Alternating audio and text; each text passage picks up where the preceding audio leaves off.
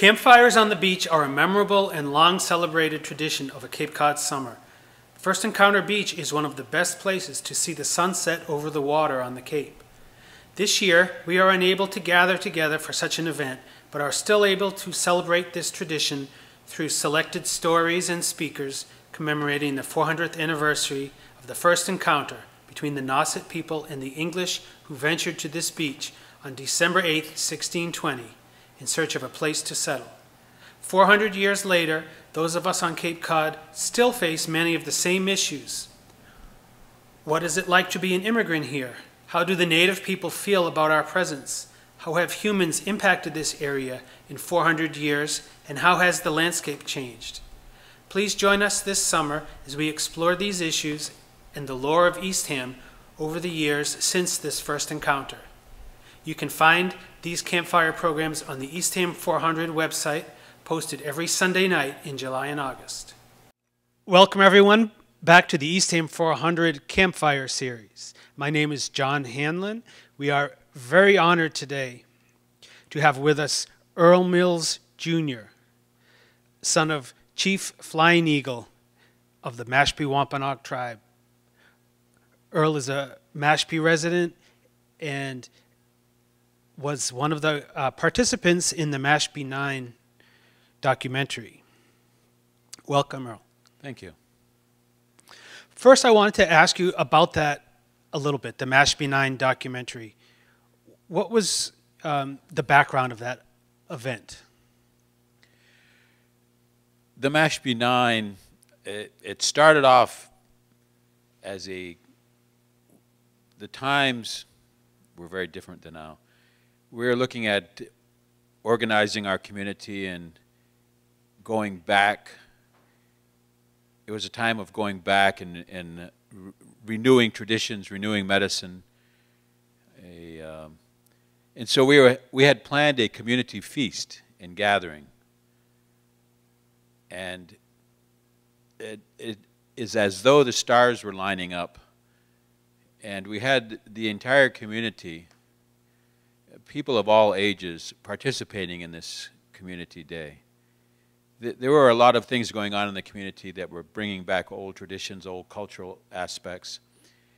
And it turned into quite a huge event for our small community.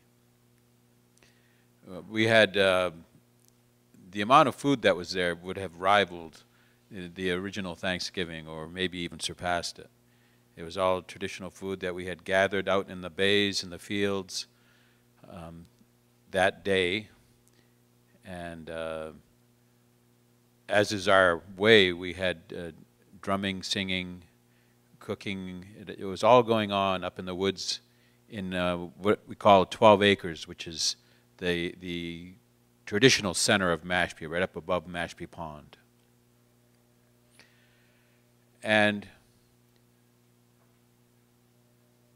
the day went on, and um, in the evening time, things started going down, but the, the police were summoned uh, for noise disturbances. Uh, actually, uh, people heard the drumming and they started getting nervous. they, they, they thought, or their, their, their perception was that it was war drums and that we were there was unrest. uh, and, and, that's the, you know that's part of American persona, American ideology. That uh, you know when when the natives are restless, they start beating the drum, and next thing you know, they're going to come and burn down your houses. Um, actually, uh, it, uh, it was social time, and it was a time of, of, of camaraderie, you know, love and uh, uh, love and happiness, and the, but uh, the, the powers that be saw it differently. Uh, ultimately, there was a mutual aid call put out, and policemen from Falmouth, Sandwich, Barnstable, Bourne, Mashpee, and state police arrived at night after all the revelry was, was over, and ultimately 10 of us were arrested and nine of us were charged for ostensibly uh, disturbing the peace. And in in that mix, there was some uh, assaulting police officer types of things, you know, in the uh, in the mix. What year was that? What was that 1975, Okay, so mid 70s. mid 70s? And and what was what was the context? What was going on in Mashpee at that time in terms of the tribe? Well, there were uh, land rights issues going on. Our, there was a lot of, there was massive development going on, and uh, the uh, the population of the town was changing very quickly.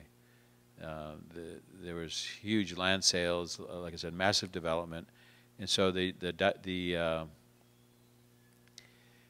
the population of the town was was growing rapidly. I think we were the fastest growing town in the state. And there started to be tensions with our um, access to hunting and fishing grounds. Uh, the, the, the political tensions were, were, were, were growing because of the, the, you know, the, the control within town hall going from essentially changing from native controlled to non-native controlled community. Do you see um, now 40 years later? Do you see parallels in in the town of Mashpee, or have things evolved in different ways? Well, well, things haven't changed that much. I mean, this, the way things are, i it's it's been somewhat of a constant, right? Going right back to the beginning. Uh, has always been somewhat of an isolated community, but there was always interaction with our hunters, fishermen across the Cape. Our, our hunting ranges and our fishing ranges always were very broad. During the Mashpee Nine, there was a massive police presence that was not the first time for us. Um, going way back to the King Philip's War, when, in order to prevent us from participating in the war, the Plymouth colony abducted women, children, and old people and held them captive on Clark's Island up in uh, up on the south shore there. That was to ensure that our men didn't fight against them. So, so that type of behavior kind of instilled a certain idea in our heads, in our community. Uh, later on, the, uh, the surrounding communities, as they were encroaching upon our land, felt uh, free to come into our community and cut wood. Wood at one time on Cape Cod was a very valuable economic resource. And Mashpee being a, uh, a well-wooded community, people from Sandwich and Barnstable used to come in and cut wood. Finally, our men decided to, to put a stop to it. They, they referred to that in history as the Woodlot Rebellion. It was like in the 1830s. The state militia was called out against us. Now here you have a community of, you know, a few hundred souls, yet the state militia was called out. It, again, it's the idea that the Indians are going to go to war Mm-hmm. even though we were outnumbered uh, 100 to 1. So this, this police presence into our community is, is a historical um, occurrence that, that continues. And it, its intention is to quell the fire, you know, to, to put down any rebellion, as it were. And it's actually becomes pretty effective. You know, the, the stormtrooper uh, ideology, it works. Mm-hmm. We see it today being used in some of our cities. Yes. Um, you know, they when they, you know, the the shock and awe concept. You know, as, as President Bush, you know, said during the uh, during those wars. Um, the, the number of police, you know, you have police dogs, you have police with riot gear, just coming into a quiet community. That our- our police, our entire police force was a was a, a dozen individuals, uh, and that was, you know, many of whom were only seasonal employees. To to to have, you know, police with the riot gears, the shields, the uh, dogs, uh, paddy wagons. Um, it, it did put the fear of uh, force into many of our people. And so what, what started off as a cultural revival, a, a reinstilling of tradition and, and uh, pride, it, it changed very quickly. And we see that today uh, where, you know, police threat, police violence is meant to uh, intimidate, and it often does. Now, of course, the tribe has sovereignty, right? And it sounds like it wasn't really recognized. Well, sovereignty, sovereign is as sovereign does. Yeah.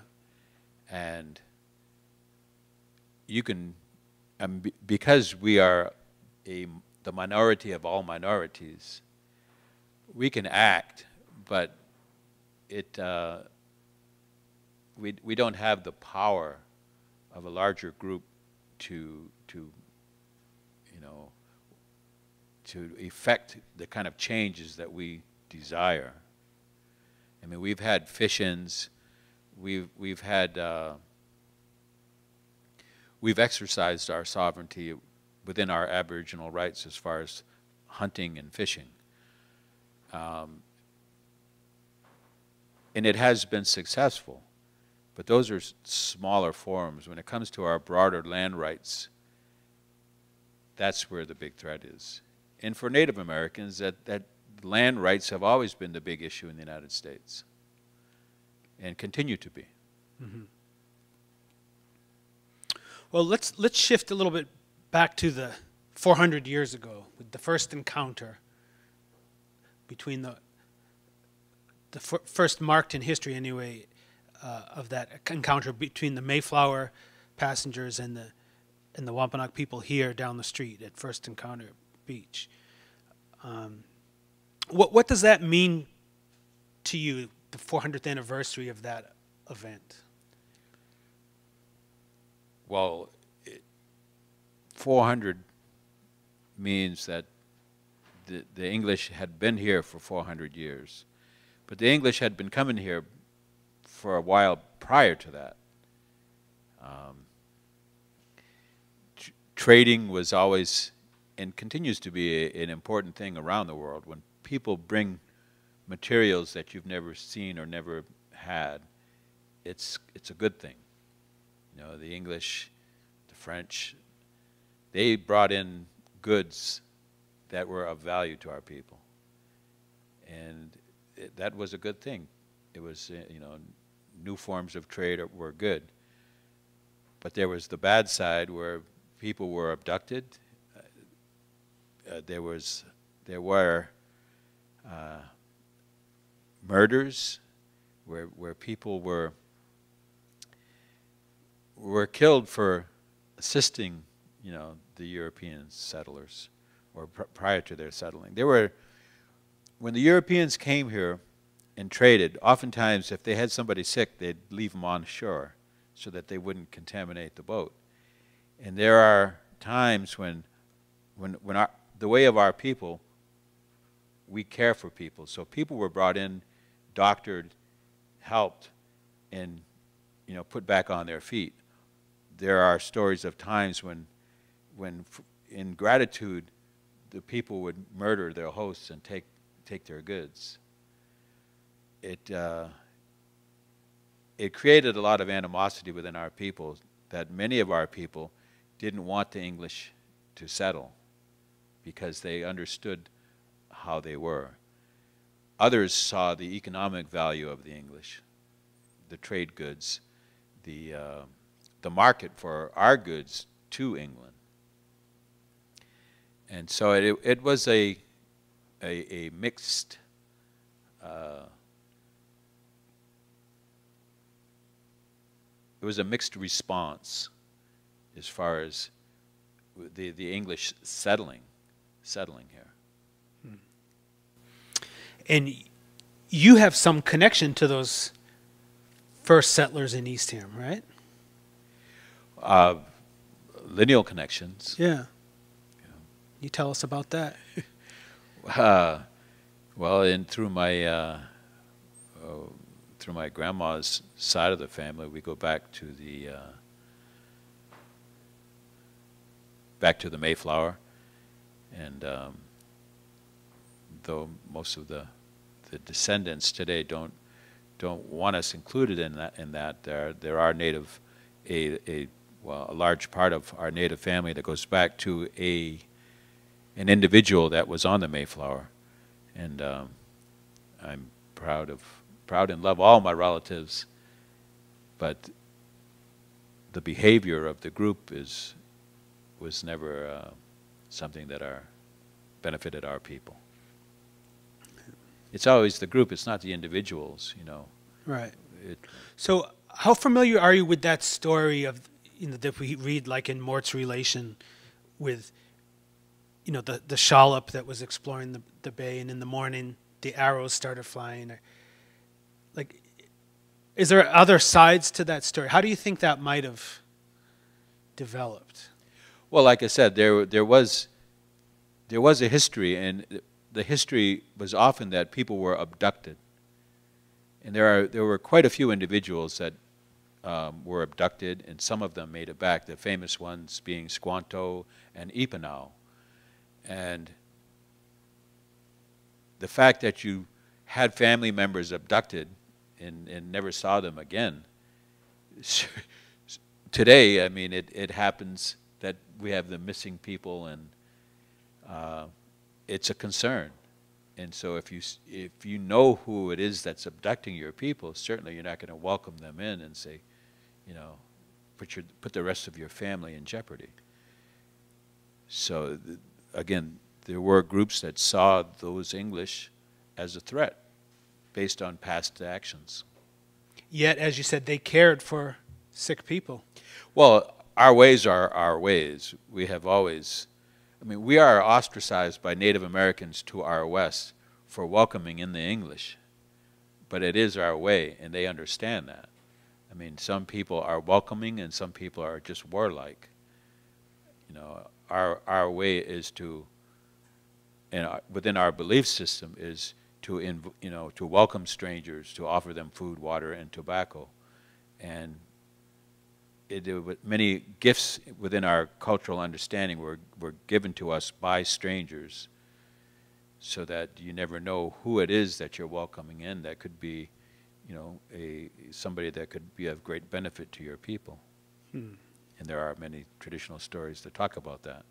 So those are our ways. And and to to welcome in somebody that ends up doing you harm is it's again it's not on us it's on them but mm-hmm. you know we have to be true to ourselves in in in sharing and in being that good-hearted way because that is our spiritual understanding hmm. What would you like people to know about the Wampanoag people now in 2020? What does it what is life like for them here? Where are they? well we the fact that we are still living in our own on our own land within our homeland is probably a miracle in in this country because of the genocide and, and displacement that has happened we are we as Native Americans are uh, among the few groups in the world living upon their own lands that have no control over their own lands. You know, the United States comes and you know supports other nations around the world to to free the homelands of people and to bring democracy in and you know for standing up for what's right. But here in in in this our homeland, the United States of America, we are just struggling for our rights, for our rights to our own homeland, for our rights to practice our ways within our homeland, both you know our Aboriginal rights of, of hunting, fishing, to procure our way of life, you know, with our ceremonial ways, and uh, it's a fight, it's a struggle, and you know, it's a it's the country as a nation speaks out of both sides of its mouth in that it says it supports, you know, freedom and equality. On the other side of the mouth is that you do as you're told, even though this is your land, we'll tell you what you can and cannot do. Mhm. And we will use force to, to ensure that the United States way is going to be the way. So today, what would be an example of some of those struggles, like to exercise your Aboriginal rights? Well, access, access to even our, you know, this, those English came here ostensibly to be able to practice freedom of religion. Well, we don't have access to our own sacred religious places or the right to have, you know, our ceremonial practices at these places because it goes back to land rights issues. So, I mean, imagine, uh, you know, people of of uh, of some place that that have sacred places that have been sacred and holy to them for thousands of years, and and the controlling government says, well, you can't just do anything you want there. Maybe you need to have our permission. Mhm. Maybe you can't get there at all because we don't want the disturbance there. Uh, I mean, it, it, it's hard to see the other, you know, the, the sh- our moccasin on the other foot, you know, but it's it, it's hard. It's a hard way to survive, to have your rights denied, and, and to have to fight. I mean, literally fight to have your basic human rights. Where do most Wampanoag people today live? Well, uh, much of our tribe still lives within our our Mashpee community, but not they're not bound by that. We have people living all over. In- increasingly, our people are living uh, further from home because of the um, the economic struggle that we have. I mean, the, the, the land valuation, as as because we don't have control of our own land, uh, it's it becomes economically harder to live there. I mean, though we have a treaty signed by those founding fathers, you know, the signers of the Mayflower Compact, we have a treaty with them that said that our, our land could never be alienated from us without our consent. And the great general court here in Massachusetts twice convened meetings in Mashpee to ask us to surrender our rights to our land, and we not, we refused both times. But in the great wisdom of the great and general court, our land was made into a township and our common lands dispersed or sold off. And so, since those days, we've been fighting for our land,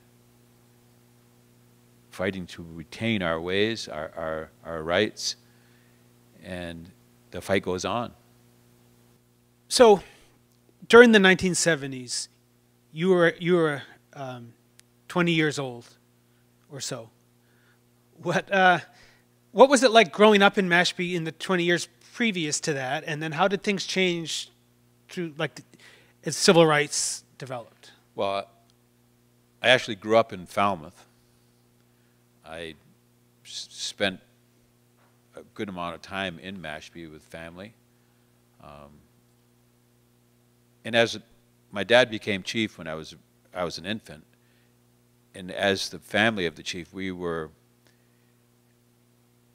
we participated in tribal functions around New England area uh, as representatives of our community, and so we we took part in traditional gatherings, uh, ceremonies, uh, social functions around New England. So I I grew up with native culture, grew up with uh, knowledgeable elders and uh, head people that that uh, taught us from a very young age about the old ways and talking about our struggles, our our always talking about the land, wherever it was, and and and uh, aspects of the land that were of importance to us as a people. Uh, talking about uh, past battles like the, the annual commemoration at uh, Great Swamp, which was a, a big massacre that took place during King Philip's War. Uh, every year we would we would gather there. Um,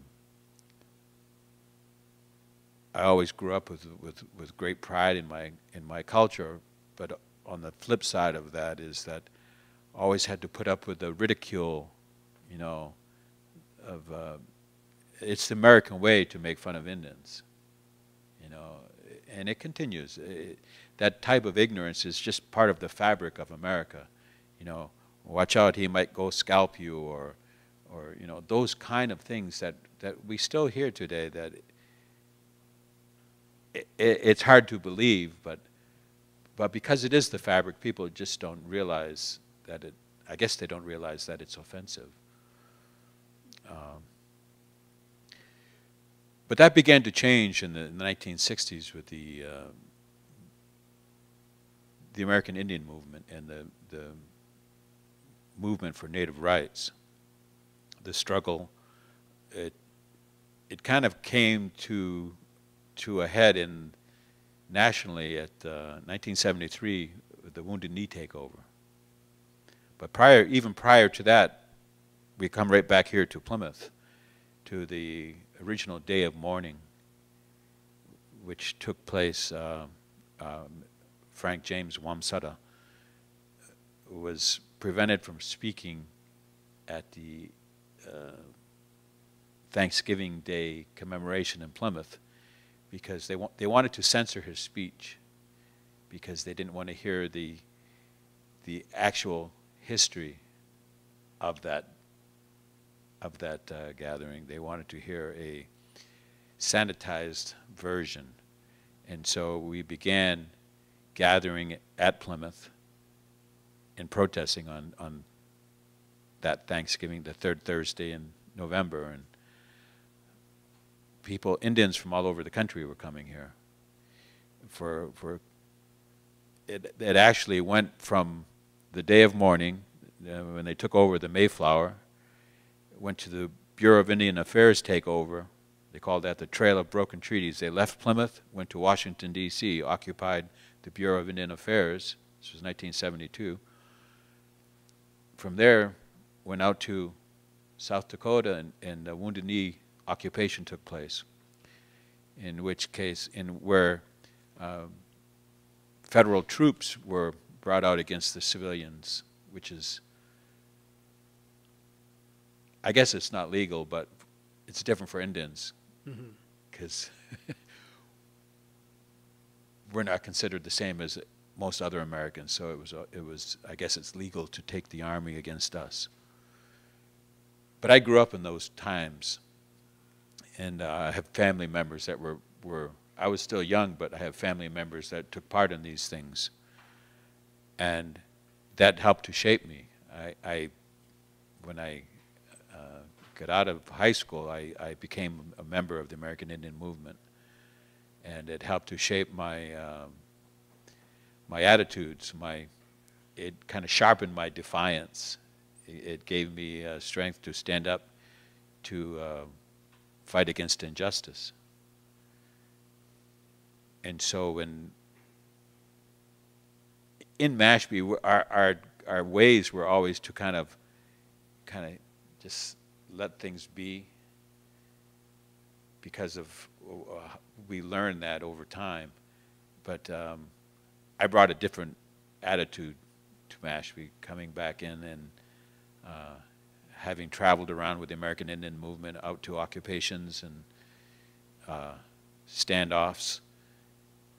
And so I guess I, I brought a little defiance into the community. I wasn't going to settle for, for my rights to be not recognized. And uh, I, while I'm glad I did, I guess it, it, it led to a confrontation that today we call the Mashpee Nine. When the police came in and, and, and told us that we were disturbing the, the peace or that we had to stop doing what we were doing, my response was that we were just Mashpee people in Mashpee doing what Mashpee people had always done. the fact that we were drumming and people across the pond could hear it. People could also hear there was a, a lounge right close by to where we were. And that music used to emanate out, that it was rock and roll music and the, you know, that, that music, you could hear that across the pond. Well, the drumming and the singing was a threat, but the rock and roll music was not. So that whole double standard kind of infuriated me. Mm-hmm. And so my response to the police, I guess, infuriated them. the, even though there weren't, you know, there were a lot of us at that time when the, when the police came up and, and told us to, to keep it down. Um, I, I didn't believe it was that loud. Um, because of the lay of the land, the, the sound could carry, but it wasn't uh, anything above what everybody was used to. It was the nature of the sound that people were annoyed by or frightened by. But by the time the police came up onto 12 acres, there were, was maybe a dozen people there. There were, the police outnumbered us probably three to one when they came in. Um, and they were expecting trouble. I mean, they were, they were armed and geared up to the tooth. And I was actually sleeping when they came in. The fire was burning low. There was no singing going on but it was a it was a massive show of force, and I mean we see that today, but in those days, I wasn't accustomed to that type of behavior by the the uh, the constables, by the you know their their job was to keep the peace, mm-hmm. but they came in and uh, caused massive destruction. Who were the, the Mashpee Nine, the nine people that were arrested? The Mashpee Nine were nine men from, or we were all young men in those days, uh, that were Mashpees that were arrested there. Yes. And what was what was the aftermath of that incident? Well, it actually served to uh, galvanize the community. There, we were supported by our community there were there were uh, town-wide meetings that were held in support of us, ostracizing the use of force. Uh, it it galvanized the community together, and it it it it served to demonstrate to to each other where we stood in this whole picture of uh, of America. Uh, it, it actually it, it started into this, um, it ignited a movement within Mashpee that eventually turned into a, you know, a land rights struggle that went on to court and, you know, continues on even today with uh, federal recognition and, mm-hmm. and uh, all the legal issues that are going on now around our land and our rights. But also, right around that time, with the whole land issue, isn't that when some of the big developments happened and the town really changed? Well, it was those changes that that created some of these responses. There were the people in town; many of them were new. To uh, they weren't accustomed to living around Native Americans, and so their their idea their ideas about natives were what I talk about when we say that, that within the American fabric is this idea that Indians are dangerous people. Hmm. That they, you know they're going to attack you. That you know they, when they beat their drums, they're you know they're preparing for war, and uh, all these, all these ideas that are that is America.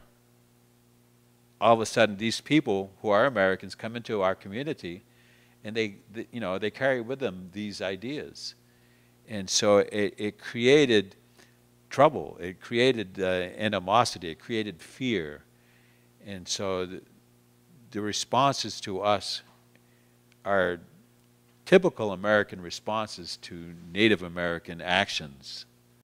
You know, fear of, you know, uh, violence, fear of, of some kind of uh, retribution for, for what they've done to us as a people, the genocide, the land taking. Um, all this, the changes within the community, you know,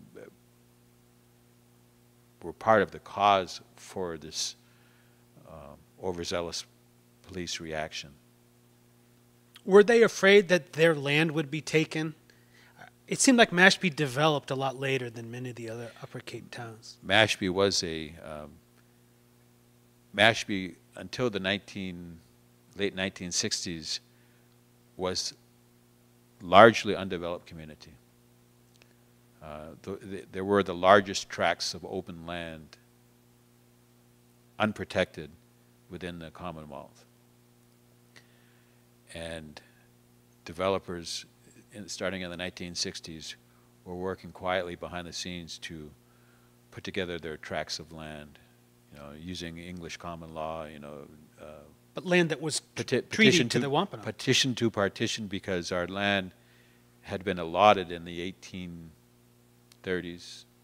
Uh, Daw, the Dawes Act that took place nationally, well, it took place within Mashpee before it took place nationally because Dawes was a, uh, a member of the Great and General Court. And that land policy was tried out here before it went national. When he went, he went to Washington from Beacon Hill and, and brought that policy forth, and Oh. it became the national Indian land policy. So our, our land was, was held within family groups, you know, so by the 1960s, large tracts of native-owned land were, were held by, you know, many people, large family groups, and it was easy to procure a, a share within that lot, then petition to partition, and people with money could, could buy these land out, these land lots out, and they did. Okay. And so that the population changed rapidly, and the, the feelings of the people that were new to the town was that of uh, more the American mainstream and, and, and very ignorant to the native aspects of the local community. And so uh, soon evolved to be non-native people on the boards, things like that. the control of the town became uh, non-native, and the responses were dictated by those people in charge. We became part of the problem as, instead of just part of the norm. hmm So shifting back down this end of the Cape, you know, at the uh, we're in Eastham here, and the National Seashore owns much of the land of the Lower Cape. What what was the native involvement and presence here? The, the Mashpees didn't were separate. Well, there were many native communities across the Cape. I mean, if you go down, even in, in, in 1860, the state did a report, they call it the Earle Report, and they accounted for every Indian within the Commonwealth. And in those days, there were still groups that considered themselves Wampanoag. There was the Yarmouth Band, you know, Deep Bottom Band. There were many, and many of the families that lived down the Cape here traced their ancestry to, to these native communities many of the practices, you know, they, they, they still consumed whale meat and things that are that are native in origin. You know, even even into the, you know, latter part of the 20th century.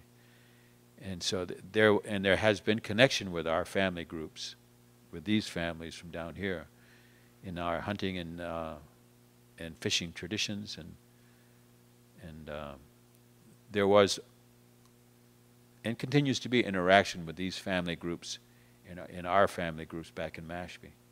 And that would have been the case back in 1620 between the, the Nauset people that encountered That, the Mayflower. that was, has always been the case. Yeah. Where there is, has been interaction and, and cultural, social, and uh, uh, interaction uh, on all levels, yes. Are there any, any, do they consider any people still uh, from the Nauset tribe or the There- Pamets? There, there are those people, and, and, and, and uh, there are, like I said, there are people that, that are down in these parts.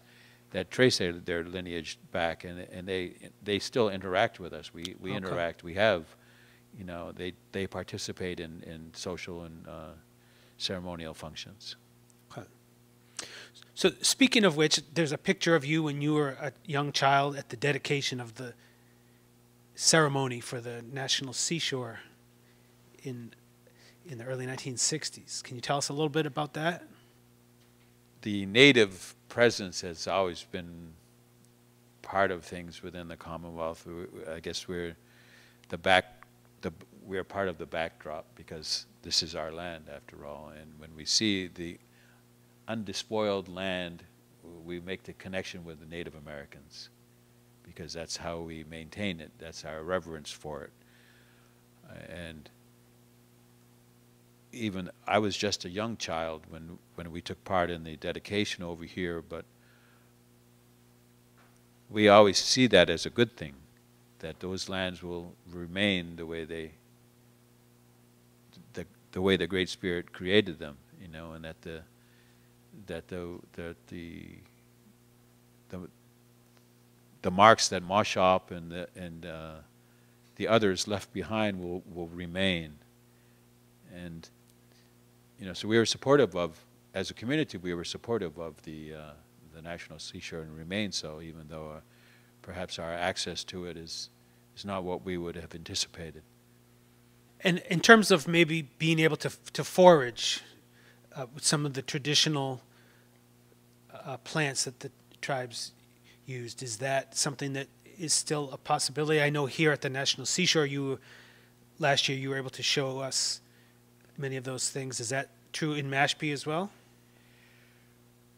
Well, foraging uh, has and continues to be important to us. That's uh, foraging for food and uh, medicinal resources um, and other cultural aspects, uh, re- cultural resources. Access is, is hard, and um, we, we're always looking for a, a good relationship or a, or a relationship at all with both the state and the federal governments and local local community uh, governments for access to uh, to resources um, or for the maintenance of resources just to have the fact that certain resources still exist because uh, development changes that uh, Can you give us some examples? Well, a- common thing today, a- concern of, of some of the greater community was the, the declining numbers of monarch butterflies. And it turns out the um, milkweed is an important plant for the monarchs. Well, it's an important plant for us too. Uh, we, we utilize it as a food, and we also utilize it as med- medicine. Uh, and it becomes, it, it has become harder to find because of development places like the National Seashore are a good resource in that they they don't allow land development. I mean, certainly it, it's a specific environment here. It's not there's not a lot of upland land, but uh, protecting natural resource like things of that nature are important to us. That these things still exist.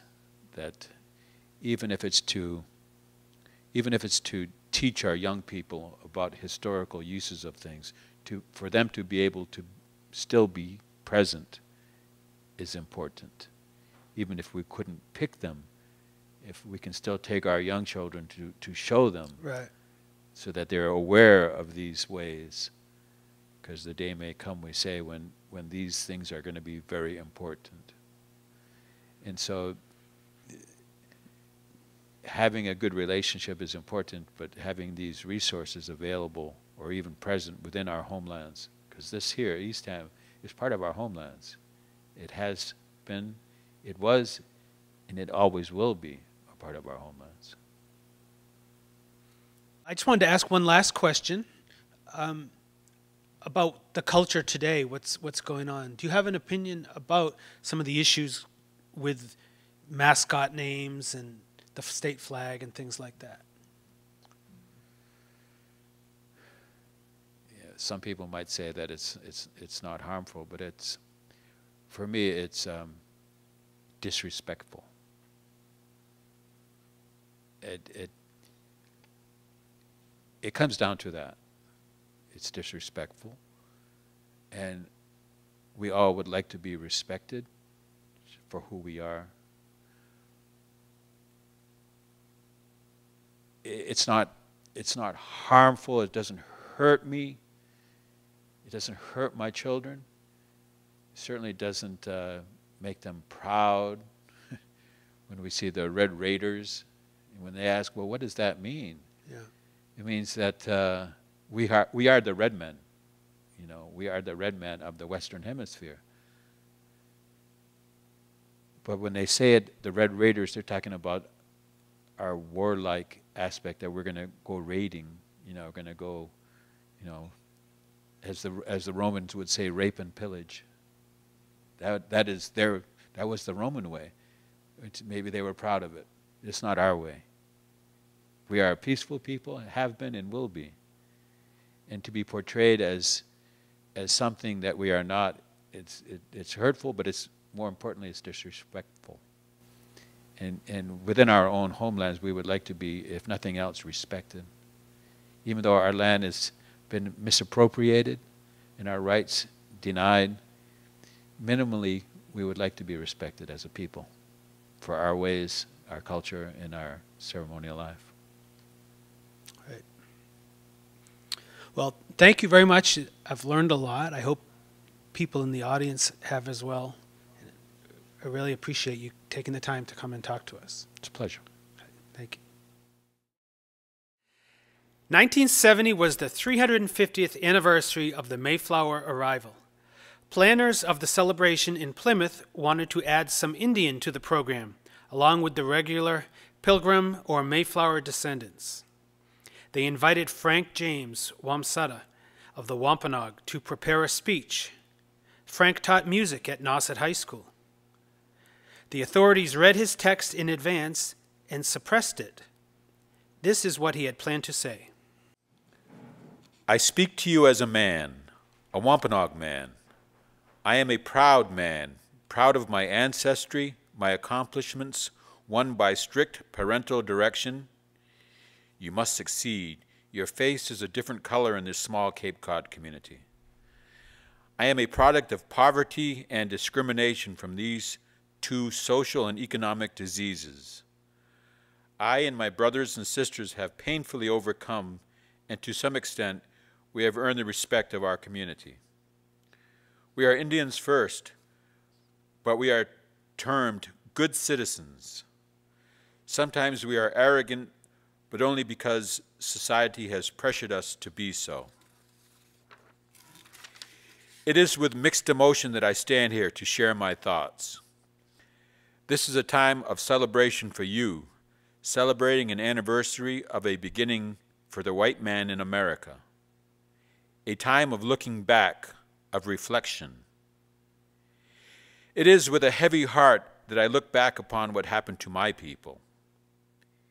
Even before the pilgrims landed, it was common practice for explorers to capture Indians, take them to Europe, and sell them as slaves for 220 shillings apiece. The pilgrims had hardly explored the shores of Cape Cod for four days before they had robbed the graves of my ancestors and stolen their corn and beans. Mourt's Relations describes a searching party of 16 men. Mort goes on to say that this party took as much of the Indians' winter provisions as they could carry. Massasoit, the great sachem of Wampanoag, knew these facts, yet he and his people welcomed and befriended the settlers of the Plymouth plantation.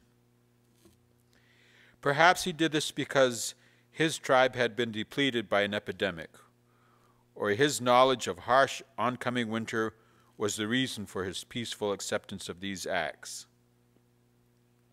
The action by Massasoit was perhaps our biggest mistake. We, the Wampanoag, welcomed you, the white man, with open arms, little knowing that it was the beginning of the end, that before fifty years were to pass, the Wampanoag would no longer be a free people. What happened in those short 50 years? What has happened in the last 300 years? History gives us facts, and there were atrocities. There were broken promises. And most of these centered around land ownership. Among ourselves, we understood that there were boundaries, but never before had we had to deal with fences and stone walls. But the white man had a need to prove his worth by the amount of land he owned. Only ten years later, when the Puritans came, they treated the Wampanoag with even less kindness in converting the souls of the so called savages. Although the Puritans were harsh to members of their own societies, the Indian was passed between stone slabs and was hanged as quickly as any other witch. And so down through the years, there is a record after record of Indian lands taken and in token reservation set up for him upon which to live. The Indians, having been stripped of his power, could only stand by and watch, while the white man took his land and used it for his personal gain. This the Indian could not understand, for to him land was survival, to farm, to hunt, to be enjoyed. It was not to be abused. We see incident after incident where the white man sought to tame the savage and convert him to the Christian ways of life. The early pilgrim settlers led the Indians to believe that if they did not behave, they would dig upon the ground and unleash the great epidemic against them. The white man used the Indians' nautical skills and abilities. They let him be only a seaman, but never a captain. Time and again, in the white man's society, we Indians have been termed low man on the totem pole. Has the Wampanoag really disappeared? There is still an aura of mystery. We know there was an epidemic that took many Indian lives. Some Wampanoags moved west and joined the Cherokee and Cheyenne. They were forced to move. Some even went north to Canada. Many Wampanoag put aside their Indian heritage and accepted the white man's way for their own survival. There are some Wampanoag who do not wish to, it to be known they are of Indian for social and economic reasons. What happened to these Wampanoags who chose to remain and live among the early settlers? What kind of existence did they live? As civilized people? True, living was not as complex as life today, but they dealt with the confusion and the change. Honesty, trust, concern, pride, and politics wove themselves in and out of their, the Wampanoag's, daily living. Hence, he is termed crafty, cunning, rapacious, and dirty. History wants us to believe that the Indian was a savage, illiterate, uncivilized animal a history that was written by an organized, disciplined people to expose us as an unorganized, undisciplined entity. Two distinctly different cultures met. One thought they must control life, the other believed that life was to be enjoyed because nature decreed it. Let us remember the Indian is and was just as human as the white man. The Indian feels pain, gets hurt, and becomes defensive, has dreams, bears tragedy and failure, suffers from loneliness, needs to cry as well as laugh. He too is often misunderstood. The white man in the presence of the Indian is still mystified by his uncanny ability to make him feel uncomfortable. This may be the image the white man has created of Indians. His savageness has boomeranged and isn't a mystery, it is a fear fear of the Indian's temperament.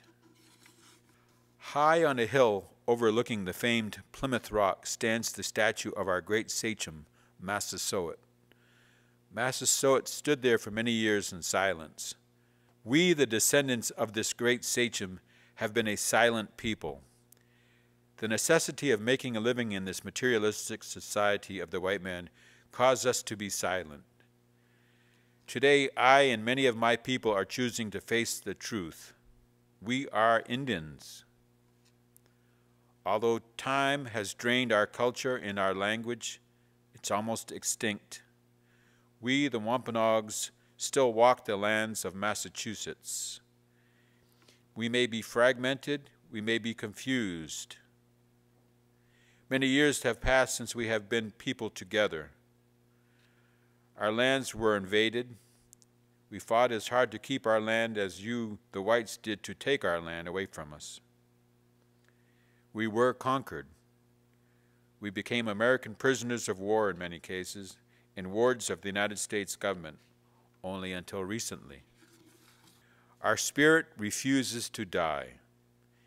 Yesterday we walked the woodland paths and sandy trails.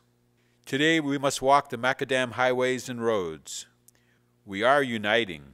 We're standing not in our wigwams, but in your concrete tent. We stand tall and proud, and before too many moons pass, we'll right the wrongs we have allowed to happen to us. We forfeited our country. Our lands have fallen into the hands of the aggressor. We have allowed the white man to keep us on our knees.